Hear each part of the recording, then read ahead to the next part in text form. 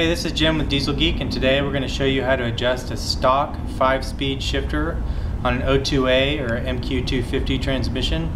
This transmission was used from from 2000 to current times, uh, 2013 um, cars that are out now. Um, the 2013 car, the 2006 to 2013 MQ250, this part looks a little different, but this is a one uh, a uh, 02J transmission. So anyway, um, this is the locking lever over here, and this is um, this is what you need to lock the mechanism in the home position. When it's pointing straight up, that's the home position. So um, we're going to go ahead and we have it locked. We're going to open the cable ends. So um, these fingers are open. Uh, the cables are free to move back and forth. So then we're going to go inside the car. We've we're doing this outside the car obviously to show you more clearly the process. And we're going to pin the, the uh, shifter inside the car with the 5 millimeter pin. We have a whole video on this 5 millimeter pin. Uh, you can use a 5 millimeter drill bit, uh, which you can get locally. All of our shifters come with the 5 millimeter pin like this. Uh, precision fit pin. So we're, we're down through this hole and then through this hole inside the car and that locks the mechanism into the home position. We're going to go back out into the into the engine bay, and this is the engine bay, and we're going to we have the transmission lock.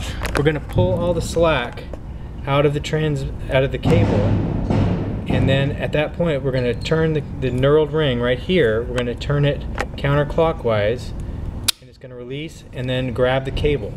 We're going to do that up in this side-to-side -side cable. This is a much more critical uh, cable to get to get correct because it controls the accuracy of the shifter. So we're going to pull the cable out, we're going to pull all the slack out, and then we're going to turn the ring counterclockwise and let it snap.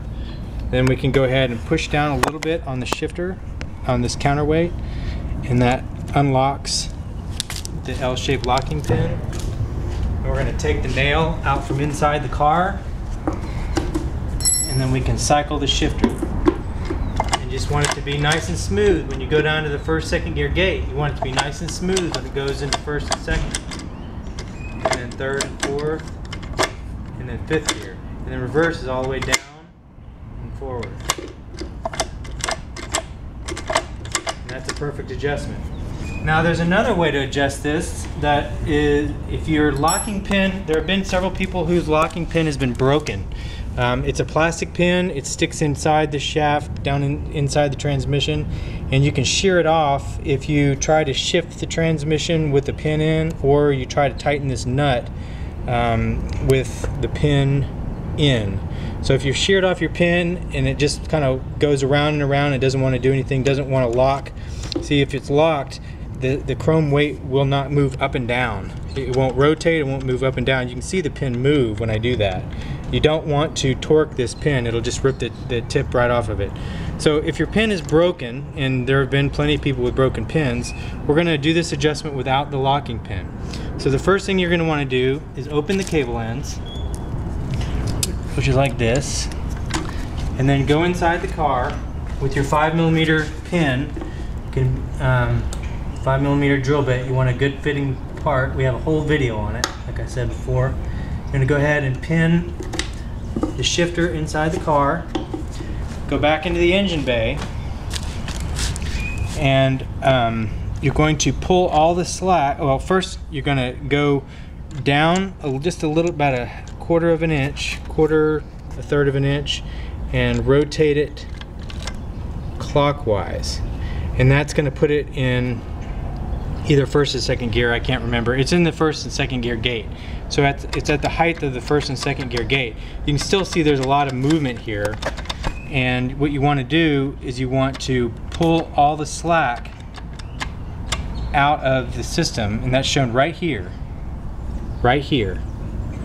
And so you want to pull all the slack out, and then at that point, once you get all the slack out, then you want to release the cable end and do the same on the front to back cable is you pull all the slack out well no that's sorry the next step after you've done the side to side cable is to rotate it back into neutral which is like that and in neutral this white slider is going to be in the middle Uh, it's in the middle of this chrome piece. That's neutral.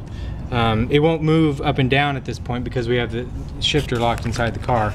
But then once you have this back in neutral, you can go ahead and pull the slack out and then release the cable end.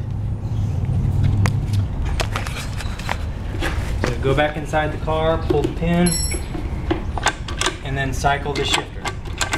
So first, second, third, fourth, fifth, reverse, first, second, third, fourth, fifth, and, it, and uh, it's first and second that are critical. If you get it right in first and second, you're going to be good everywhere else. So go down to first, second, and then you're done. So you've you've achieved uh, alignment without having to use the locking pin. Um, you, it's critical though that you take the slack out of the cable before you release the cable ends because you're compressing all the slack in the cable toward the shifter and you're also taking up all the loose tolerance in the other side, you know, from this side on. There's a lot of little slop in the system on a stock shifter that you want to pull it all out so um, your, your adjustment is correct. But after you've done that, you've gotten it and that's pretty much it.